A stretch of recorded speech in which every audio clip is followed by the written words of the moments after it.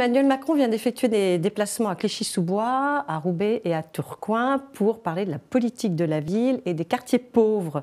Dans votre livre, alors je vais peser mes mots, vous ne fustigez pas, mais vous émettez des doutes sur Ça me euh, les ressemble ré- plus. Voilà. Cette formule me ressemble plus. sur les résultats de la mixité sociale. Oui, il ne faut, il faut pas en faire un, un idéal ou un principe.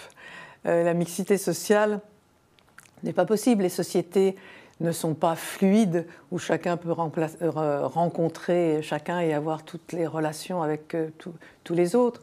C'est un principe n'y pas de, qu'il ne doit pas y avoir d'objection à ces, à ces relations entre les différents membres euh, de la société et que tout est possible.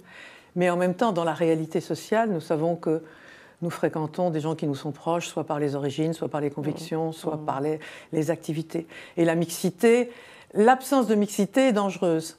Mais il ne faut pas en tirer la conclusion que la mixité la est le remède, le quota. à, tous les, à tous les problèmes de relations entre les groupes. Euh, les sociologues américains ont montré comment longtemps le fait de, que les migrants d'une certaine origine se regroupaient leur donnait une assurance et une force qui leur permettait ensuite de participer à la société, à la société globale.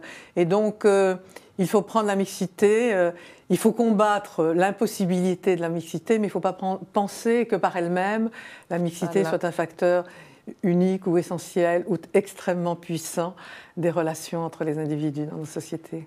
Alors il y a un autre sujet